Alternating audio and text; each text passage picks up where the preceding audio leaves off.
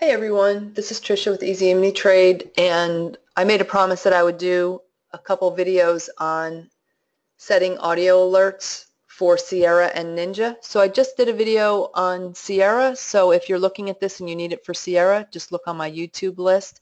This one will be for NinjaTrader. And also just wanted to let you guys know I'm doing a webinar on Tuesday, July 26th at 7 o'clock and the subject will be trading 6E pre-market and the setups that I'm using to trade that are the Slinky, divergence trades, and the Keltner channel continuation setup. So I'll go over all those in their entirety. And of course, they'll work on any instrument on any market. So it doesn't have to be uh, used on the 6E pre-market. That's just what I'm going to go over because a lot of people are interested in the 6E. So if you want more info, just go to easyeMiniTrade.com and click on the webinar tab at the top of the page and all the information is right there. Okay, so I need to have some WAV files. So I have lots of them saved um, over the years and if you do then great. If you need to create your own, there are a couple different ways you can do it. I use Audacity. That's a free download and that's what I'll um, generally use to create my um, audio alerts. So I'll show you how I do that. So I'm just going to open that up and these are my controls. So this would be the record button and this would be the stop button. So I'm just going to use the sound, I'll just say test, test, and now I recorded it. I'm going to play it back by hitting this green arrow and see what it sounds like. Test. Okay, so if I don't like it and I don't, then I'm just going to do a brand new one. So I'm just going to go File and New. Sounds like I was like right on my mic. So I'm just going to go New, and then a new window will open up, and I'm going to do it again. Test.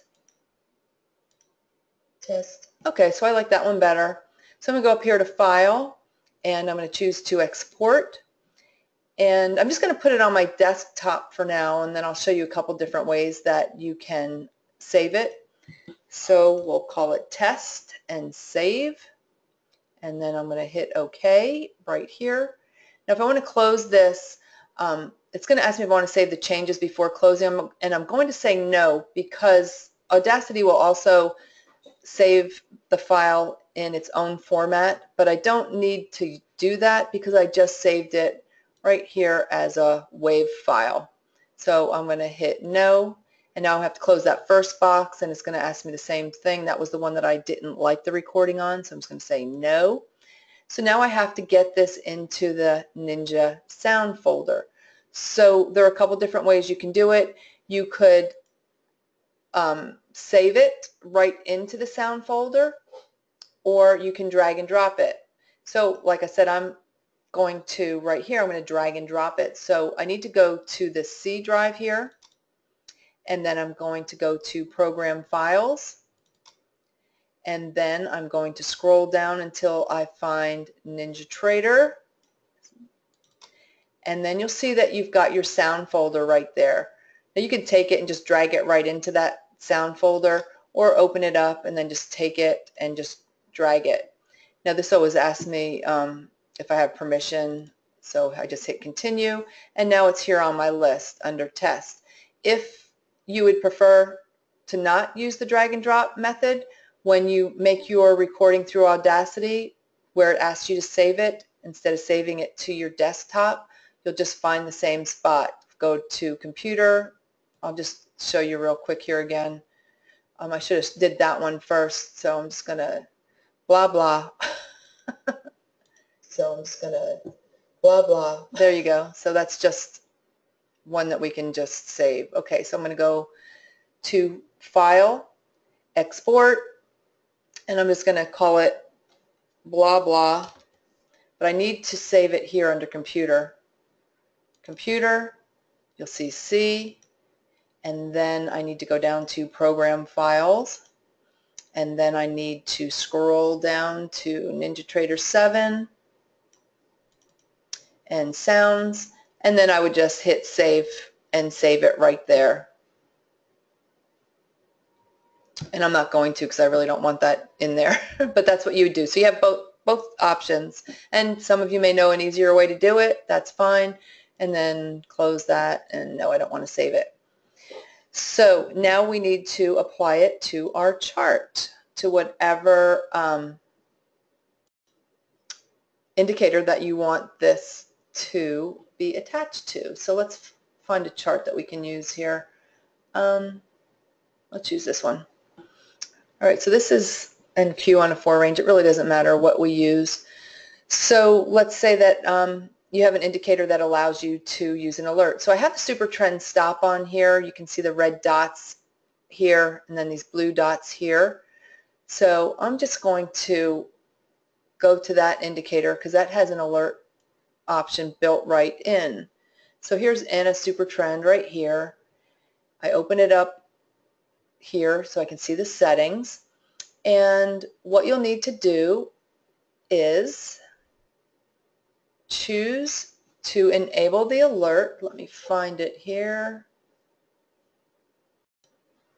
which is right here, sound alert active. I have it set to false, so you'll change that to true. Now, these are the wave files that show up when you download that indicator, but these are not going to fire off unless you actually have these wave files. So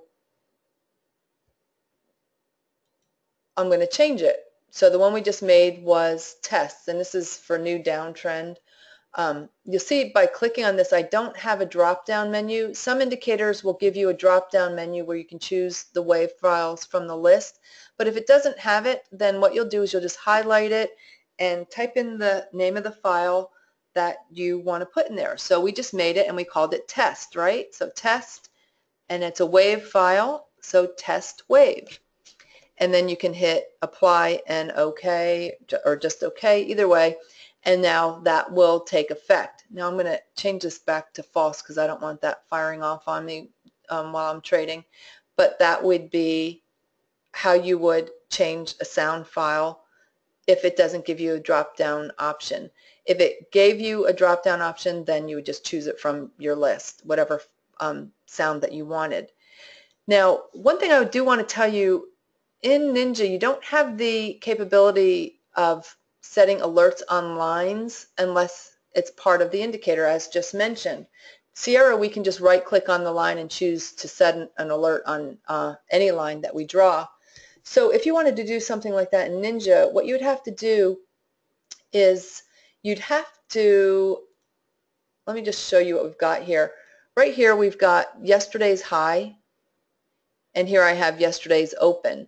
So let's say that I wanted alerts set on yesterday's high when price is crossing above it, let's say. There's an indicator that you can download, and you can probably find it on NinjaTrader um, forum. And they're Analine alerts on indicator or Analine alerts on price. They're both the same thing. It doesn't matter which one you choose. So I'm just going to double click on that to put it on my list here. And now I've got the setting box here. So right here you'll see sound alerts active, true. So if I wanted sound alerts to work, I have to have that set to true. If it's set to false, obviously they're not going to fire off. So then what I want to do is I can choose, you can see there's different, like this would be alert number one, alert number two, alert number three, etc. So you have the capability of setting alerts on up to 10 different line parameters or you know any other areas that you want. So what I'll do is I'll just use the, um, the first one here. So alert line active, I'm going to say true because I want that to be active. I want this to fire off. And so what I need to do is I need to put that level in there. And that level was 4662.25. So I'm going to type that in there, 4662.25. And I'm going to change it to green. So this way I know that's like yesterday's high. So I'll just choose this um, forest green there and I'll kind of give it the same kind of look that the indicator actually has. And here's the alert file here. So let's say that, um, you know, we'll just use that test one again. You'll see I'm clicking on it, but there's no drop-down box. So now I'm going to have to type in that alert again. So the one we did was test. So test dot wave. Also up here under alert type, you have the option to choose cross above, cross below, or cross above or below. So I'm going to choose cross above or below because if it crosses above, it'll fire off. And then if it crosses below, it'll fire off. And you could do that for all the reference areas that you have marked on your chart by just typing them in here or you can establish those levels and just type them in here. You don't have to have the lines already on your chart. So I'm just going to hit apply and see what it looks like up there.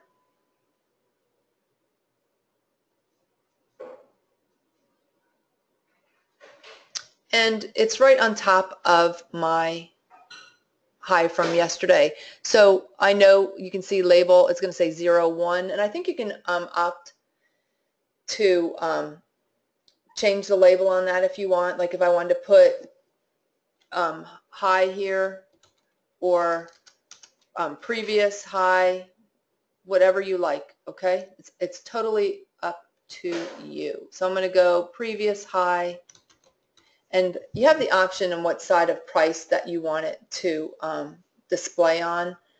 So I want the price markers. I can go to the left if I choose. So I'm going to just go left and see what that looks like. So I'm going to move this out of the way so I can see what that looks like. I'm going to choose apply. And so now it should show up over here on the left.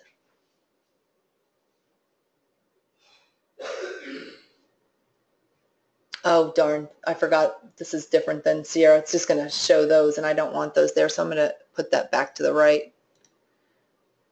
Hit apply.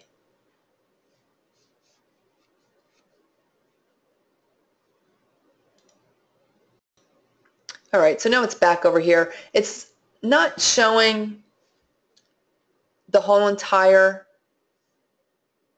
text that I just put there. So if you want to see the whole text, you can change your parameters on your right side margin.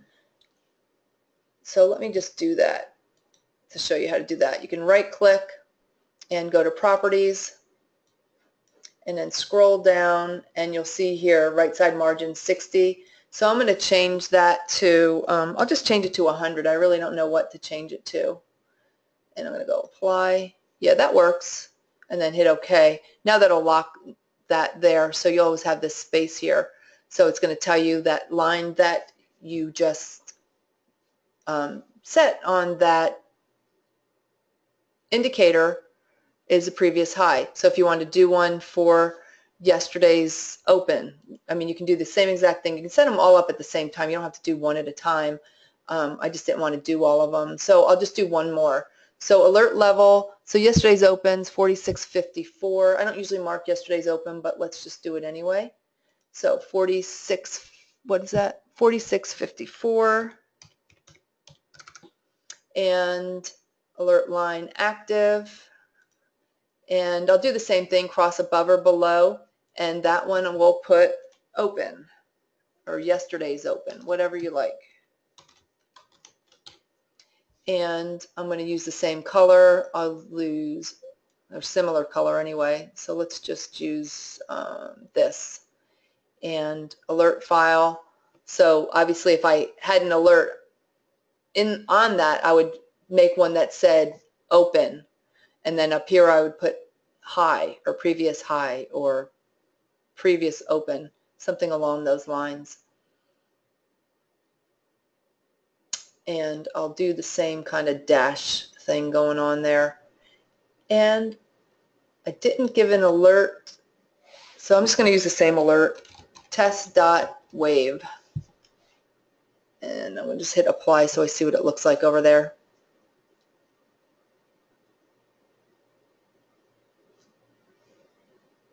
All right, so there you go. So yesterday's open, previous high. And so now whenever price crosses above or below, it'll fire off on the high and on the low using whatever indicator sound, um, syndicate, indicator alert sound that you put in here. So the big key is make sure that your sound file on whatever indicator you're using, if it doesn't give you the option to choose it from a drop down, that you type it in there exactly as um, the file name reads in your folder. Now, if you're going to use this on the previous day's high, low, and close, obviously common sense tells you that you're going to have to change those every morning, okay? So, you know, don't forget to do that. And I think that that is it, you guys. If you have any questions about this, certainly you're welcome to send me an email. And I hope you all have a fabulous weekend, and we'll talk to you soon. Take care, you guys.